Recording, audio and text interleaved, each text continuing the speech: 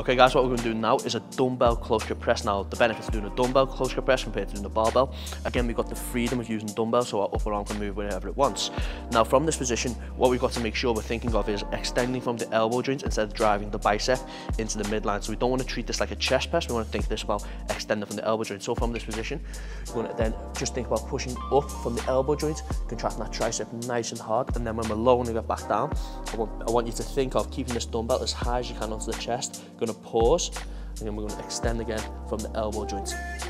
So yes, this is going to recruit a bit of chest, it's going to recruit a bit of anterior delt, but we want the main focus to be on the triceps extending all the way out to the top, contracting all the way through. The setup again is like any pressing movement would be scapula retracted, abs nice and tight, and really think about driving that upper back into the bench as well for something to brace against.